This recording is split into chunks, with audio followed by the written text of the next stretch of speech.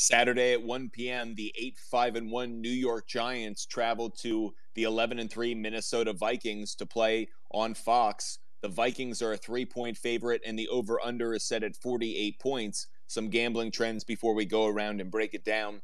The Giants are 5 and 1 against the spread in their last six road games. The Vikings are 1 and 4 against the spread in their last five games played on Saturday. The favorite is 6 0 against the spread in the last six meetings between the two teams. The over is 4 and 1 in the Giants' last five Saturday games, and the over is 6 and 1 in the Vikings' last seven home games. Adam, how do you feel the, about this one between the Giants and Vikings that could have really big playoff implications? Yeah, exactly right. Minnesota, obviously, with the biggest comeback in NFL history against Indiana, and they are seven and one at home. So I guess we can finally park the Bills Oilers highlights for a while. Now we have some new ones to look at. But my, my question is, how does Minnesota respond to that? You know, they were down 33 nothing a half. They come back and win a game. Now they have to come back and play another tough game, like you mentioned. Both teams need a win here against the Giants. Giants obviously got it done last week against Washington. Barkley played a little bit better, 87 yards and a touchdown. Jones had 160 through the air and ran for 35, which are subpar numbers. But they're going against this Minnesota defense, who's just atrocious. They give up 24.9 points a game and don't just don't seem to do anything right on defense at all. But on the flip side of that coin, I think you can see Cook having a big day today. The Giants' rushing defense is 30th in the league at 150.4, but the last three games they've actually even been a lot worse than that, giving up 192.3. So I don't like to spread in this one. I'm going to stay away from that. But Minnesota's four of last five have gone over, and the last three of five of the Giants have gone have gone over. So I'd buy the points down a little bit because of the the poor rush defense for the Giants and the poor pass and rush defense for Minnesota. I like the over in this game. Last week, Butt Fumble Sports told you to take a Dalvin Cook anytime touchdown as a player prop bet. Fortunately, we cashed on that, and it was a good time. That was late in the game to help the Vikings tie up that game to ultimately get them a win. I look towards uh, Dalvin Cook to have another big game, as Adam just alluded to. Loeb, how do you feel like this game plays out between the Giants and Vikings? Yeah, it, uh, it's definitely going to be all eyes on the Vikings. Um, they've won each of their last 13 games as favorites. So I, I, do like them on the, the money line, but I'm not, I'm not sure about the spread.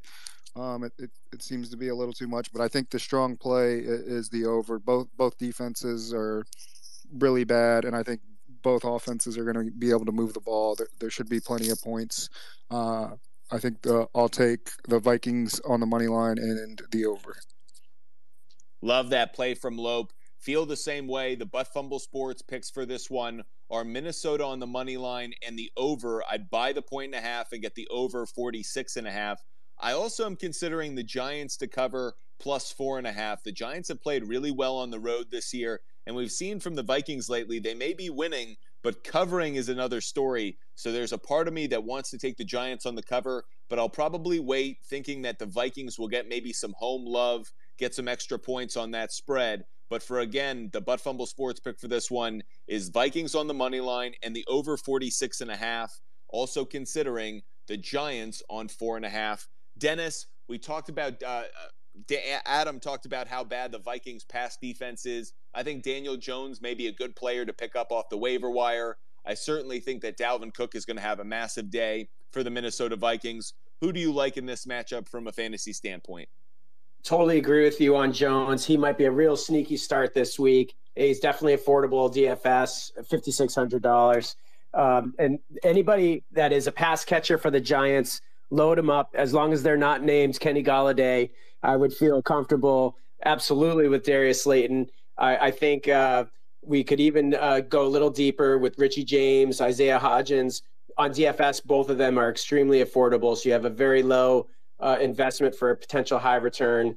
These uh, uh, receivers going against the Vikings defense, fantasy wise, have all given great numbers for uh, several weeks in a row. So if you uh, find yourself with just a little bit of money as you're making your lineup and, and you're down to the flex, it, uh, definitely worth a flyer on one of these Giants.